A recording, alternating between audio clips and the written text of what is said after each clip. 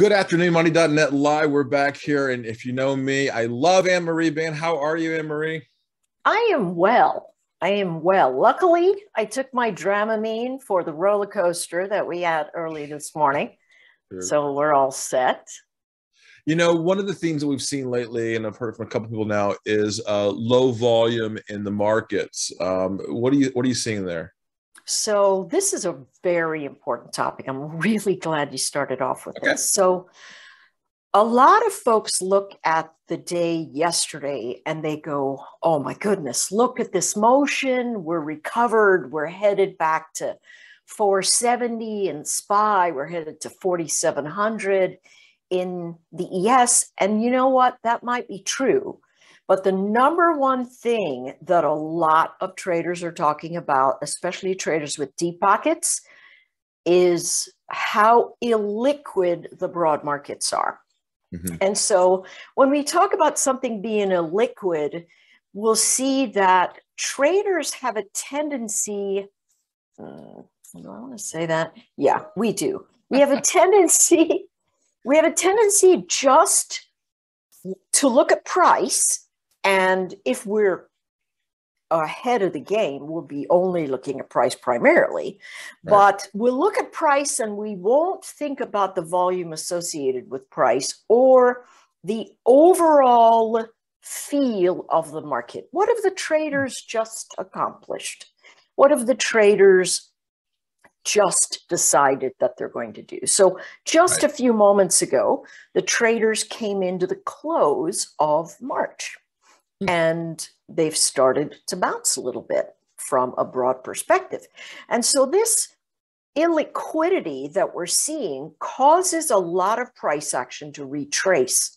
And so it makes a lot of traders really nervous if they compare one day to the next, one week to the next, and they get very uh, enthusiastic about chasing breakouts because everything's moving so quickly, they think they're going to lose the bubble.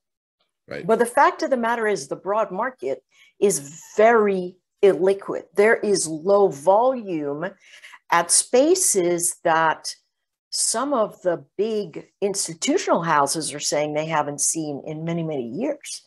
Many and years. So, okay. Yeah. Wow. Okay. So it's uh, if you look up I'll, I wish I could find, I'll look for that in just a moment. It's on the Fred site. Okay. Um, and it's just showing how little the motion is. And so some people have this idea that retail traders move the market, and folks, we simply do not. We mm-hmm. know all of our pockets together could not give us the leverage and motion of the institutional Correct. Uh, folks. They are going to be in charge. And so you just want to watch. And so, where, if you were looking for value and you saw the market spike up and you looked at, hmm, I wonder what's going on, and we closed last month at a particular number, where do you think the value event is going to come in? It's going to try and come in at the open of the current month. Now, maybe that works, maybe it doesn't, but you know they're going to be there. So if you're short, that's something that you have to go, you know, I'm going to pull some of my short position off because I, I personally think we're in a very wide sideways formation, yeah. especially. I mean, tech was moving at 3x to the downside of the broad market today in the morning. So it's been it's been fairly ugly. Yeah. So that's what I would say about that. I'd say watch that liquidity. Just, you know, if you go, wow, I don't have any big tools, zoom out and um, look at your SPY chart and put a moving average on the volume and you will see it move down. Okay, let's talk about the SPY. Last week you you hit it. You said 457 was the place. Yes. Well, you know what? It went a bit above it. And so I had sold an iron condor and because I was trying to trap it in between spots, and it breached. But one of the wonderful things that I've learned battling with the market is that a line that is supposed to be resistance doesn't mean it won't get broken. it just usually means it won't hold. And mm-hmm. if it ends up holding on a pullback, that old resistance becomes support. But what's happened is it hasn't held it. And so it drifted through the fade. We were able to collect, I think, 50% off of that.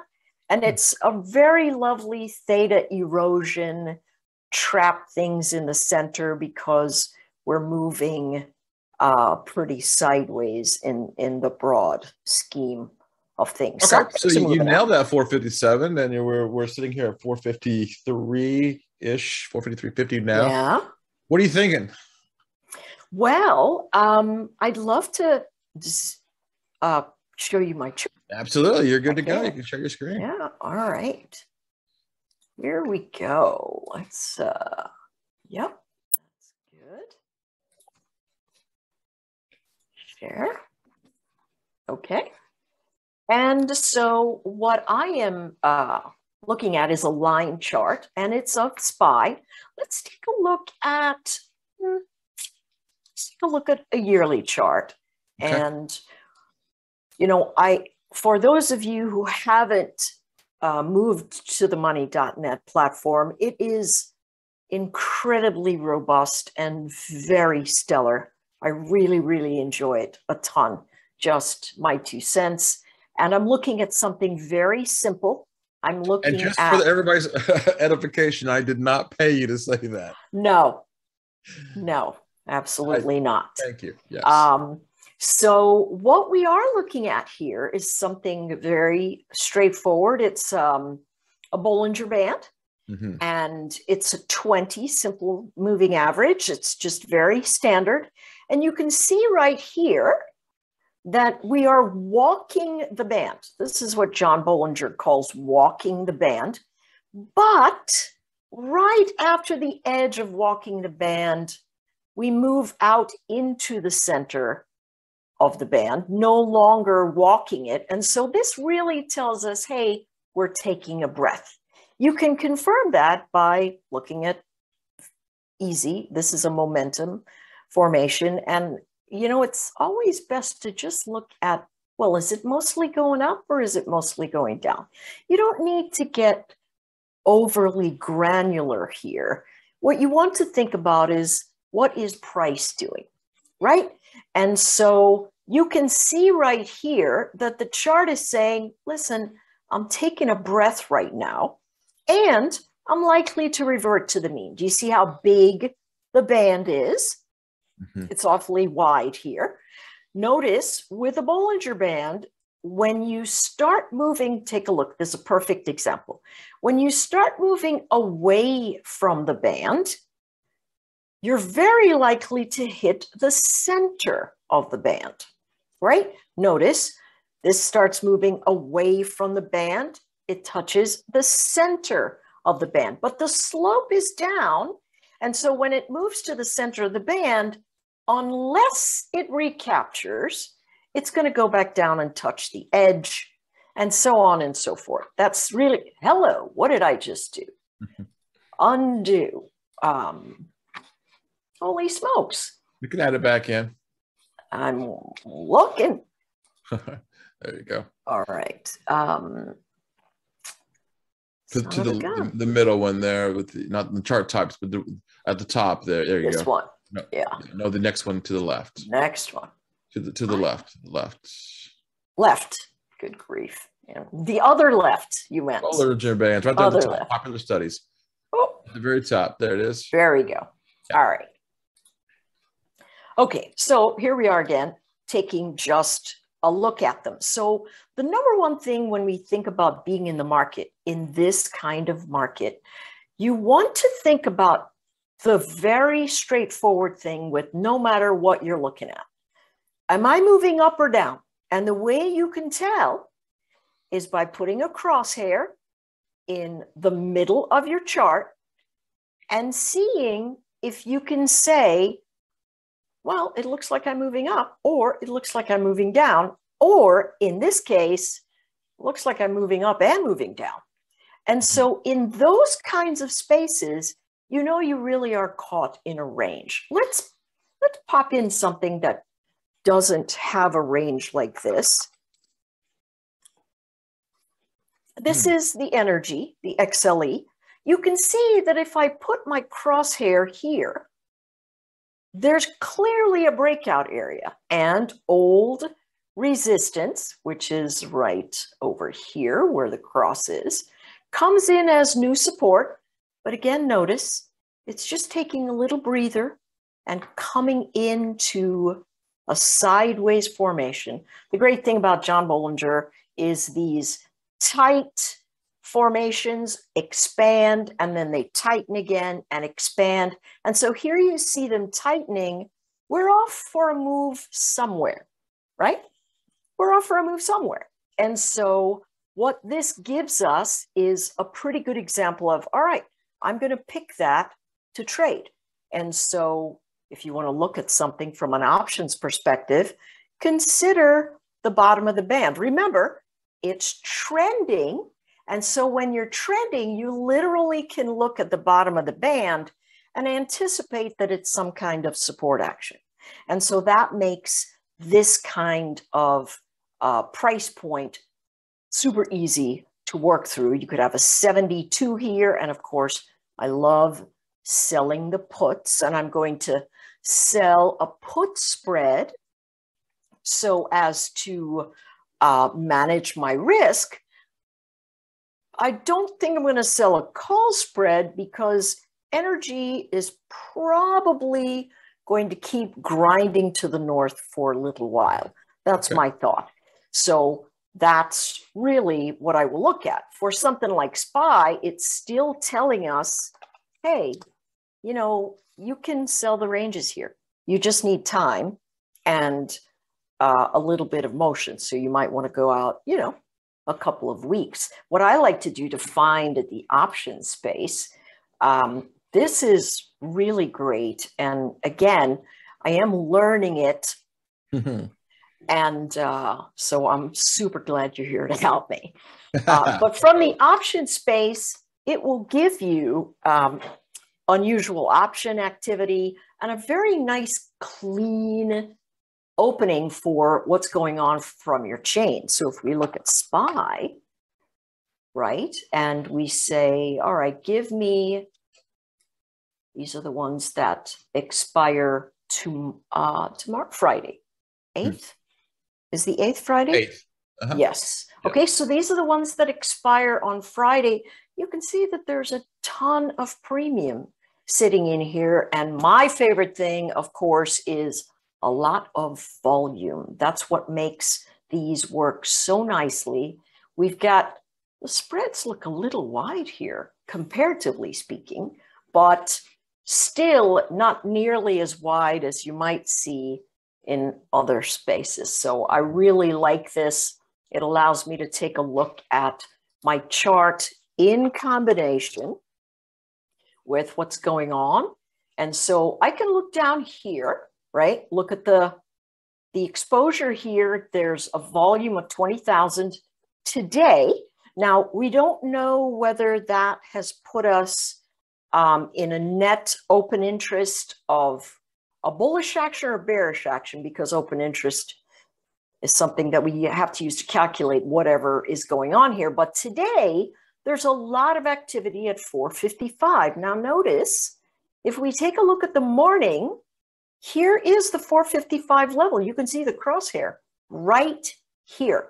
And so they either bought it thinking it was going to rise to the top, or they sold it thinking it was going to fade into the monthly open. Mm-hmm. And so it still gives us an opportunity to look at something and go, wow, you know, if I sold that for 55, um, I could have a really nice, uh, wow, that's very interesting motion that's going on right there. If I sold that 455 as it comes back up into the space, I know that my price action easily could move to 457.50. So you have two and a half uh, dollars wide in terms of your risk expiring for Friday. And that monthly support action really does show you hey, you know, if I pull backwards here, I'm very likely to hang out at around 450. And hmm. so you're able to trap the price in there for a couple of days and give uh, give yourself a, a pretty nice option space. Let me look at my other machine and see what I like that. I will I would sell that at. So if I have the 455 they don't have 457.50 so we'll use 458 and then we'll use 450 and uh, what is that? Three wide, 55, 58, three, yeah.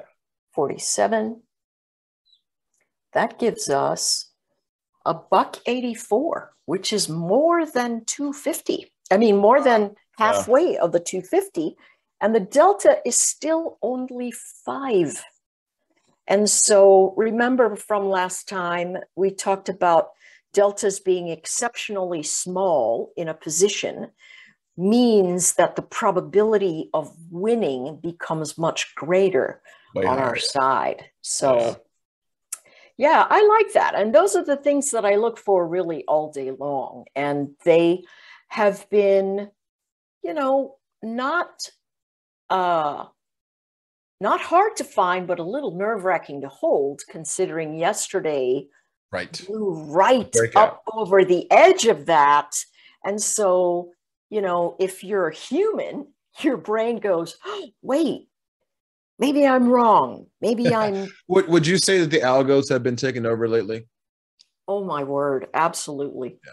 Absolutely. There there is so much algorithmic trading, which is why I was trying to tell folks, listen, I know you think the power of the retail trader might be something important to look at in general, it's never going to be that important. Right. Un- unfortunately, I mean, as I, as I, always say, you can may win a battle, but you'll never win the war. Exactly. They have too much money, too much speed, too much knowledge, and too much leverage. There's absolutely no way that we could beat them. And so, our best bet is simply to find out where they're playing and uh, get ourselves involved and you nailed it last week. You said 457 on the spy. Yeah. And so it was just a really, um, you know, some sometimes we don't nail it. And the the big thing is just make sure that if you're wrong, that you can stomach the risk. And right. for me, that's always because I trade to eat. You know, I, I always am thinking there are some fabulous trades that have just left me in the dust, but the risk parameters were just not the ones that I could take. And, and that, so, that, tells, that says a lot about your trading style that you're able to, you know, when the risk reward, you already know all that. The, the, the brain power is there, but you're also having to trade against yourself too, right? Oh, sometimes. Oh, absolutely. It's very hard looking in the window, seeing everybody have a, at a party and me being outside. Right. Right. Which a lot of times these big moves, you know, especially in the Twitter sphere where nobody gets any any calls wrong. Wink, wink, never, nudge, I don't nudge. think I've found anybody say they've missed right. one. Right. Right. Exactly. So you know, you just are are um, it's it's a tough space. And what's really great again is that you've got you're following some really good uh, Twitter accounts that just give you a ton of information in terms of moving up the chain. And you can see we have we've added about 80 different Twitters. Uh, yeah, it's good. Twitter. Yeah, mm-hmm. yeah I've been digging around looking at them and and several of them I follow already, and I've added a few more of these um, to my list. So really, good, really good. nice. they, they, came from yeah, my tweet please. deck, so I, am always happy to share my tweet deck. Right. Well, Anne Marie, it's always a pleasure, and we will see you right back here next week. Absolutely. For Money.net Live, this is BigBeat and Anne Marie from thetradingbook.com. We'll see you next time. Thank you.